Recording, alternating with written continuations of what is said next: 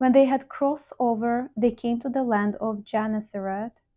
And when the men of that place recognized him, they sent out into all that surrounding region, brought to him all who were sick, and begged him that they might only touch the hem of his garment.